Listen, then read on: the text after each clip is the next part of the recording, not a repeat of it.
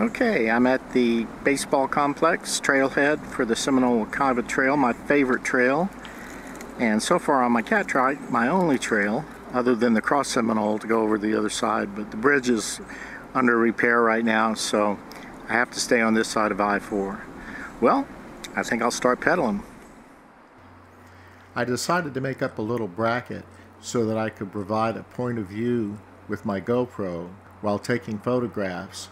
The idea is to make sort of photographic essays so I can talk about the process. And it's a good excuse to show off some of my work. I'll put the parts I got from Amazon in the links below. How are y'all doing? Doing well. How are you? Doing great.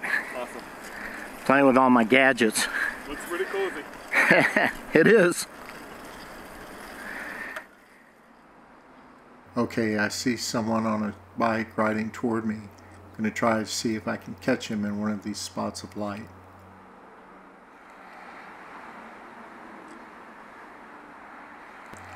Here's one coming up from behind.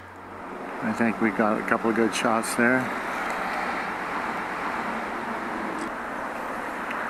Well, I'm glad I decided to jump off the trike and take those shots. I think they're going to come out really well. Thank you for watching. Please like and subscribe if you're so inclined. See you on the next one. GoPro stop recording.